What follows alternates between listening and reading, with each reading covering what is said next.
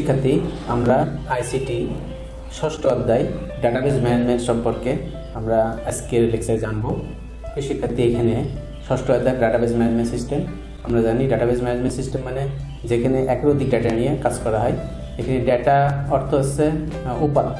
অর্থাৎ অনেকগুলো উপাত্ত মিলে এটা আমরা ইনফরমেশন পাই, অনেকগুলো ইনফরমেশন মিলে একটা ডাটাবেস হয়। তো এই ডাটাবেসগুলো সাধারণত আমরা সফটওয়্যার মাধ্যমে সংরক্ষণ বা সংযোজন ইত্যাদি করে থাকি আমরা।